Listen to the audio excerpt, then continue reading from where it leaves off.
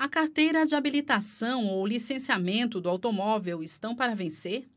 Então você deve ficar atento a algumas mudanças que o Conselho Nacional de Trânsito adotou para que a população não seja prejudicada com a redução ou falta de atendimento nos órgãos públicos. O CONTRAN decidiu suspender todos os prazos relacionados a serviços de trânsito nos 26 estados do país e também no Distrito Federal. A medida também vale para todos os processos e procedimentos realizados por entidades públicas e privadas que fazem esse serviço.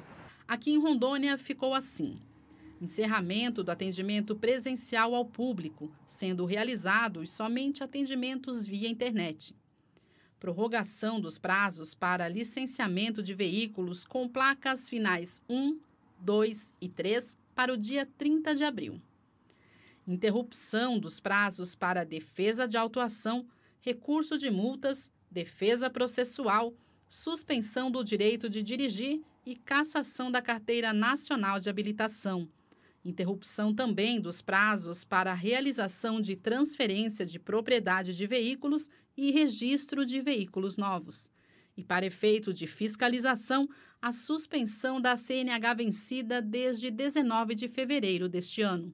Outra medida relacionada ao trânsito também foi a prorrogação do prazo de pagamento do IPVA.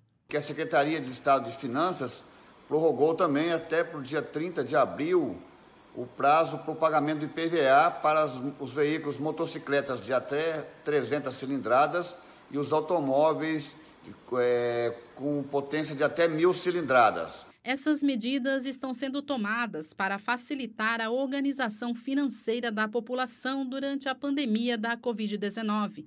Mas para os profissionais que trabalham com processos de trânsito, como os despachantes, as medidas são preocupantes a nossa categoria tem sido muito prejudicada pelo fato de que é, nós já estamos chegando ao final do mês, nós temos os nossos é, estabelecimentos comerciais, os nossos escritórios lotados de transferência, de primeiro emplacamento, de licenciamento e tudo aquilo que tem a ver com o Detran e Cefim. E nós estamos é, nos sentindo podados de poder desenvolver a nossa função. Para mais informações sobre prazos e serviços do Detran, é só acessar o site www.detran.ro.gov.br.